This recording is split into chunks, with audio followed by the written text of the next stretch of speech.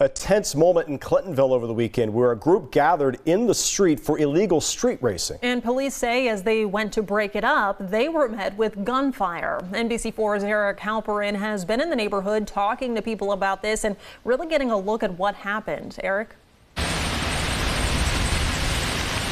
Jen and Jared, I've been talking to some area businesses, some neighbors, all who have been here for several years, and they say what happened on Saturday night was a first.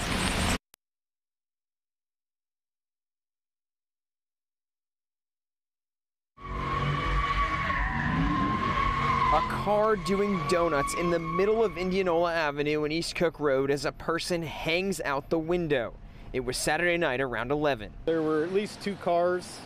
Uh, they'd kind of take turns. I'd say it went on for the entire thing was probably 30 minutes, I'm guessing.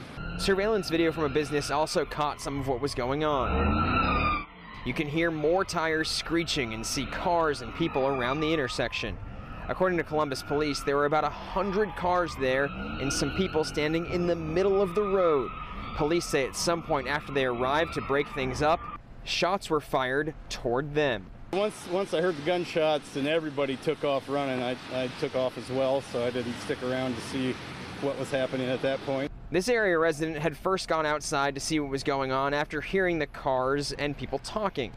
He says the gunfire took the situation to another level. To be honest with you, kids are going to be kids. I didn't think it was, I mean, yeah, it was a public nuisance blocking the roads. That wasn't cool, but I mean, I didn't think it was a horrible thing until really the gunshots started, and I think that turned it into a very scary situation for a lot of people. And police say they have not made any arrests yet. If you have any information, you're asked to call them. Police declined today's interview request, but told me they're working on a plan to handle these types of incidents. Local for you in Columbus, I'm Eric Halperin, NBC4.